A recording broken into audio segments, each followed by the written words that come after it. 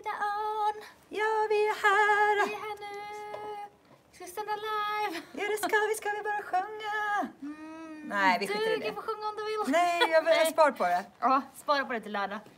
Du eh, är med i Mello för första gången nu. Som soloartist. Ja, du, bra att du sa det där sista. För Ja. det är tre, fjärde gången att jag är med i Mello, men första gången som solartist. Ja. Det känns väldigt kul, ska jag säga. ja. Känns det annorlunda den här gången? Ja, men gud, varje gång känns ju annorlunda liksom. Och sen Ja. så har det ju också hänt så mycket i mitt liv sen jag var med. Sist- Sista gången jag var med var 2013 med mitt band Cookies and Beans. Ja. Eh, jag har ju två barn nu liksom. Då hade jag ju bara en liten, liten, liten bebis. Men nu har jag två barn som är fyra och åtta. De Ja. är ju sjukt pepp. Och sen så har jag gjort... Mycket stora händelser liksom. Ja, sen har jag gjort så mycket olika slags musik och jag har ju gjort mycket sologrejer innan också, jobbat så. Ja. Så att, eh, nej det Du har haft en stor hit med Release Me. Ja, Och då kallade du dig Olora. då hette mitt band Eller Olora. bandet, ja. ja. bandet hette Olora. Och det blev ju en jättestor succé. Ja, 2000... sju.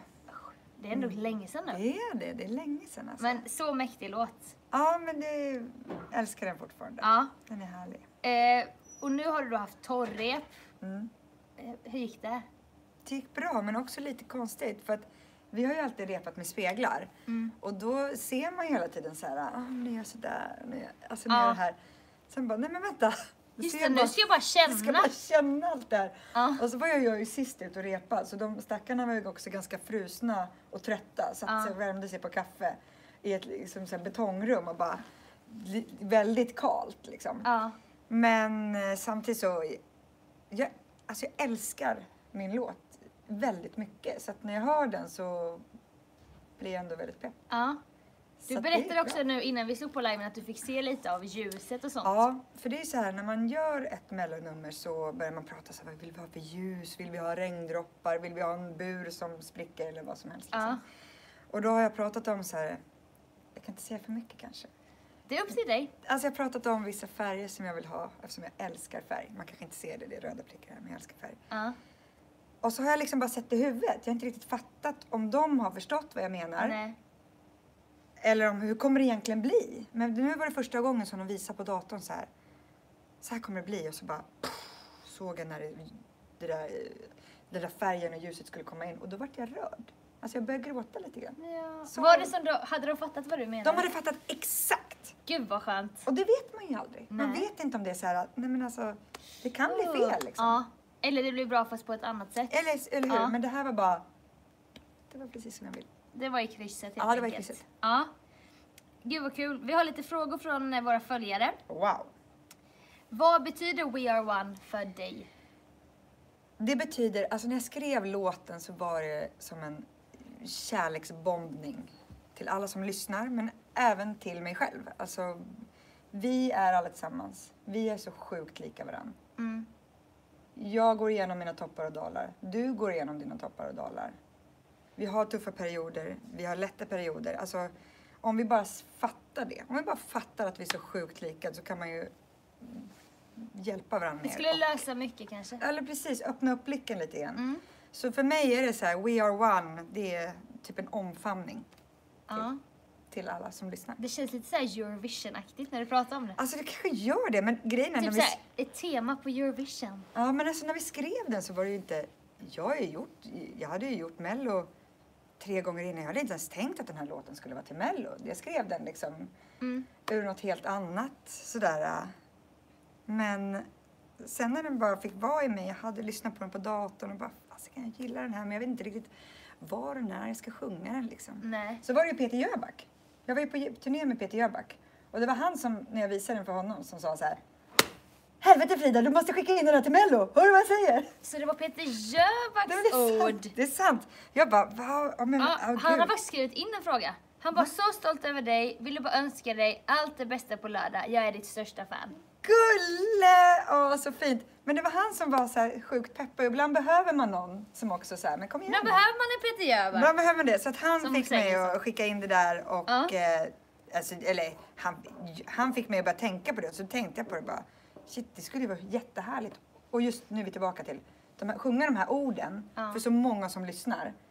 Jag kan inte citera hela texten men jag skulle vilja göra det för jag älskar hela texten. Den, den, Ja. den betyder jättemycket för Det mig. ligger i appen om man vill läsa texten. Ja, läs ligger texten. i Mello-appen. Och man kan ju tolka den hur man vill men den är liksom, för mig är den så väldigt stärkande och eh, Ja. man tror på det själv. Allt det ryms också i texten. Gud vad fint. Eh, förutom dig själv, vem är din personliga favorit i Mello 2020? Har du jag kollat på programmen? jag tyckte Anna Bergendahl hade ett jävligt fräckt nummer. Eller väldigt fräckt nummer. Ja. Hon sjöng ju, vilken härlig röst. The Mamas var ju mäktig alltså. Mm. Och sen har vi ju Jakob i min deltävling. ja. Som Karlberg. Jakob Karlberg. Han och jag giggade i somras och då satt vi och spelade lite efteråt. För jag älskar alltid att spela gitarr och sjunga Mm. efter Ja. spelningarna i logen. Och då visade det sig att han var ju världens bästa gitarrist. Visste du det? Alltså jag vet att han spelar men att han var världens bästa. Nej, alltså okej, men han är väldigt bra. Eh, jag sjunger skulle vilja höra. Mm. Mm.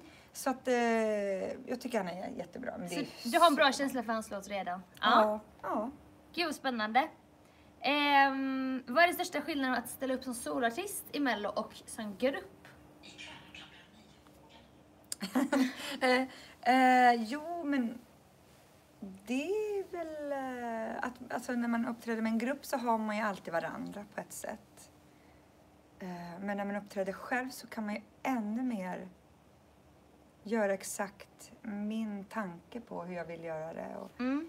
min låt och min vision. Blir det så att man får, liksom, är det mycket ge och ta när man jobbar i grupp? Ja, det Att är man det får ju. bara, okej jag jag steppar tillbaka på den här, du får ta den. Ja, man så bara, kompromiss. fan jag hade en annan tanke men... Ja, fast så kändes det och för sig inte med cookies. Det kändes ju att man liksom kom överens om en, om en känsla Ja. innan man åkte iväg till Mello. Ja, Så men vi vill ha ett sånt här nummer liksom. Men, men, eh, men ändå så finns det ju att man kompromissar ju såklart mycket Ja. mer.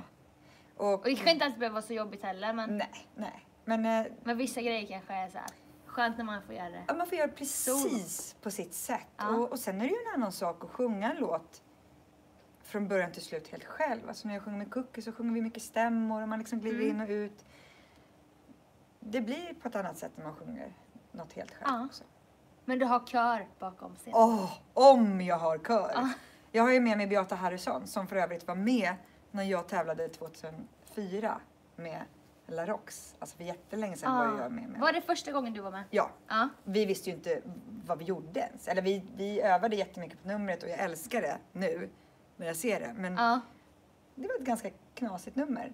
Eh, men Beata och jag är ju bästa vänner. Vi pratar ju varje morgon i telefon. Mm. Och Evelina är också med och hon är också min bästa vän. Så jag är mina två bästa kompisar med som står och körar. Gud vad mäktigt. Ja, det känns så kul. Så de kommer vara, och de är ju feta sångerskor båda två. Liksom. Eve körade ju förra eh, vinnarbidraget också, Benjamin. Ja, Så för, hon har varit med liksom. Och... för Okej, just det, förra, förra. Bra. Jag var John och sen var det Benjamin. Så var Året det. innan det. Ja, Ja. jag hänger med.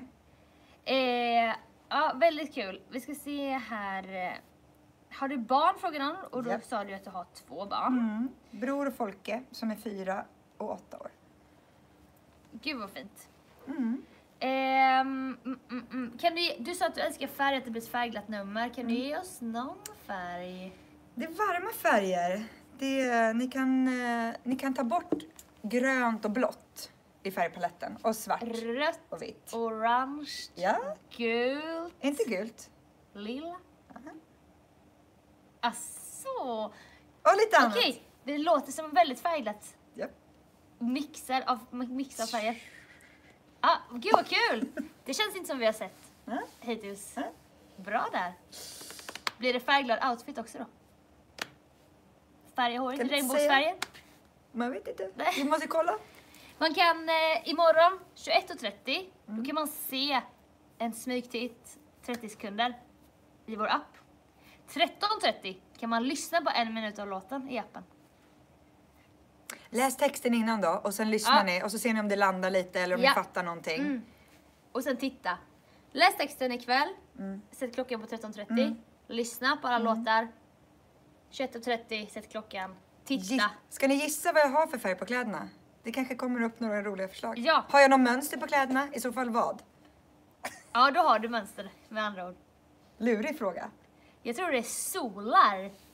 Det skulle kunna... Är, Solar och månar. Rymden. det är rymden och Ja. sådär.